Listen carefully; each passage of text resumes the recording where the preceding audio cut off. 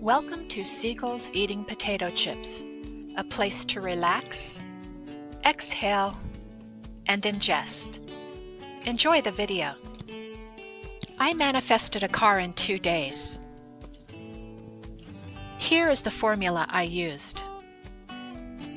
The secret formula I used to manifest a car in two days was T plus E times F minus J equals M.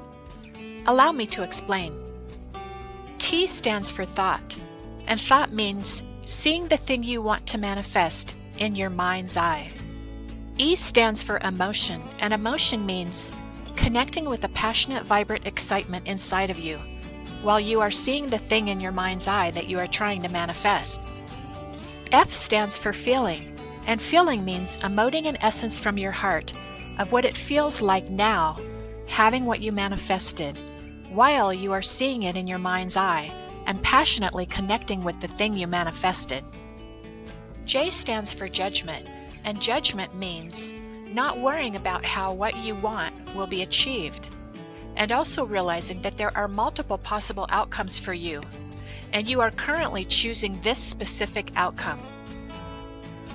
M stands for manifestation, and manifestation means the thing that you want. So, how do you pull all this together to make it work?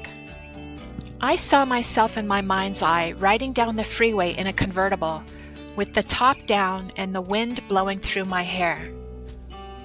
The ocean breeze was refreshingly spraying on my face.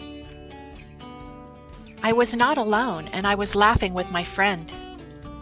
I felt a thrill in my stomach and I felt free and happy. That is it. That is the secret. The secret is to feel the thrill. I repeat, feel the thrill. Two days later, an aunt gave us her car, title and all. Again, the secret formula T plus E times F minus J equals M. Thought plus emotion times feeling minus judgment equals manifestation. This formula works. Give it a try for yourself.